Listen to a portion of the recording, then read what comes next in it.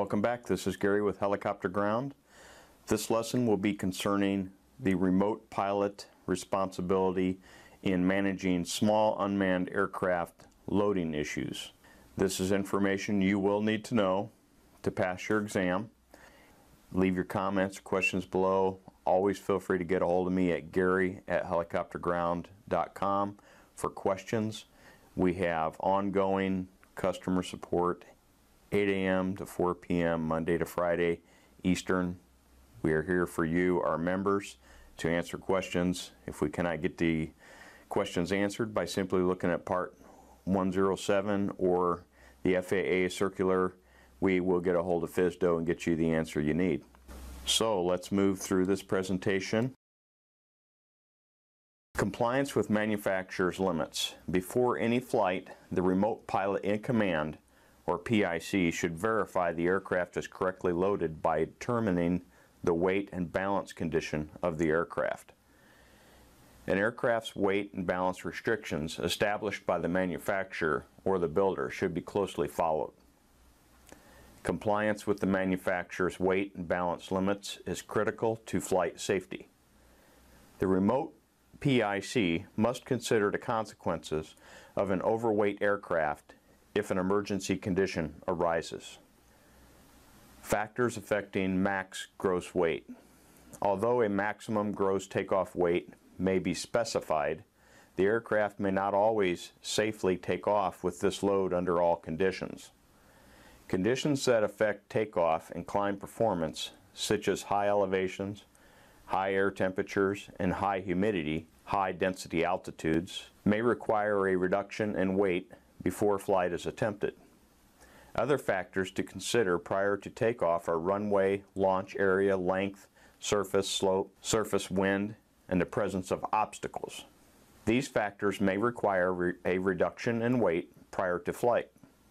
Weight changes during flight also have a direct effect on aircraft performance. Fuel burn is the most common weight change that takes place during flight. As fuel is used, the aircraft becomes lighter and performance is improved. This could have a negative effect on balance although.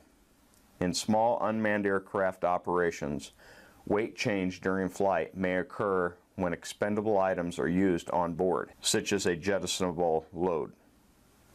Consequences of adverse balance.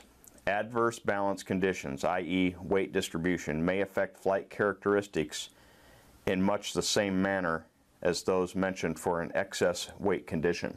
Limits for the location of the center of gravity, otherwise referred to as the CG, may be established by the manufacturer. The CG is not a fixed point marked on the aircraft.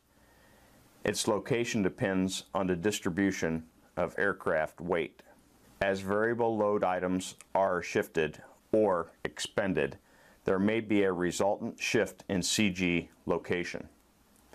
The remote PIC should determine how the CG will shift and the resultant effects on the aircraft. If the CG is not within the allowable limits after loading or do not remain within the allowable limits for safe flight, it will be necessary to relocate or shed some weight before flight is attempted. Gravity is the pulling force that tends to draw all bodies to the center of the earth. The CG may be considered as a point at which all the weight of the aircraft is concentrated. If the aircraft were supported at its exact center of gravity, it would balance in any attitude. It will be noted that CG is of major importance in a small unmanned aircraft, for its position has a great bearing upon stability.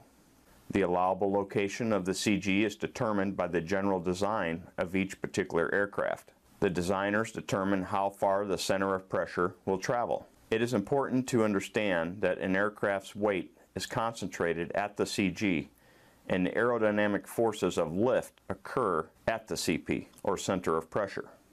When the CG, or center of gravity, is forward of the CP, center of pressure, there is a natural tendency for the aircraft to want to pitch nose down. If the center of pressure is forward of the center of gravity, a nose-up pitching moment is created, flight equilibrium. Therefore, designers fix the aft limit of the CG, forward of the CP, for the corresponding flight speed in order to retain. Weight has a definite relationship to lift. This relationship is simple but important in understanding the aerodynamics of flight. Lift is the upward force on the wing acting perpendicular to the relative wind and perpendicular to the aircraft's lateral axis. Lift is required to counteract the aircraft's weight. In stabilized level flight, when the lift force is equal to the weight force, the aircraft is in a state of equilibrium and neither accelerates upward or downward. If lift becomes less than weight, the vertical speed will decrease. When lift is greater than weight, the vertical speed will increase. Stability is the inherent quality of an aircraft to correct for conditions that may disturb its equilibrium and to return to or to continue on the original flight path. It is primarily an aircraft design characteristic. Areas affecting stability. First off, maneuverability. The quality of an aircraft that permits it to be maneuvered easily and to withstand the stresses imposed by maneuvers. It is governed by the aircraft's weight, inertia, size, and location of flight controls, structural strength, and power plant. It's also an aircraft design characteristic. Controllability, the capability of an aircraft to respond to the pilot's control, especially with regard to flight path and attitude. It is the quality of the aircraft's response to the pilot's control application when maneuvering the aircraft, regardless of its stability characteristics.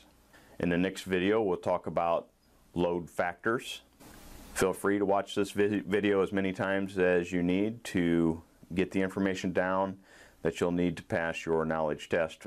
We will call that good for part one of loading and move forward in the next video covering load factors. See you in the next video.